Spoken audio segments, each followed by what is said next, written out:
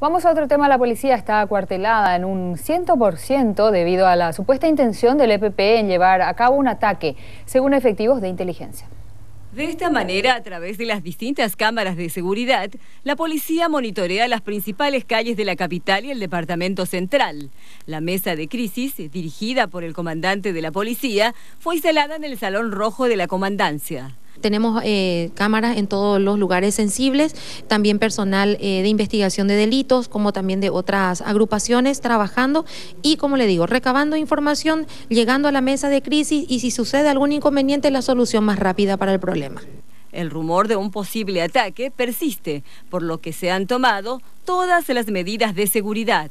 Por ello, un despliegue total de policías en las calles a fin de dar seguridad a las personas. Se manejaron informaciones de inteligencia de que se tenía eh, datos de que hoy podía haber ocurrido algún hecho, se tomaron todas las medidas de seguridad, estamos con personal suficiente de apoyo táctico en lugares estratégicos y garantizamos de que esto no va a haber eh, ningún inconveniente y que se va a desarrollar sin ningún problema. Los agentes del orden garantizan la seguridad de aquellas personas que quieran hacer su recorrido por el microcentro de Asunción, aprovechando las fiestas patrias y el feriado.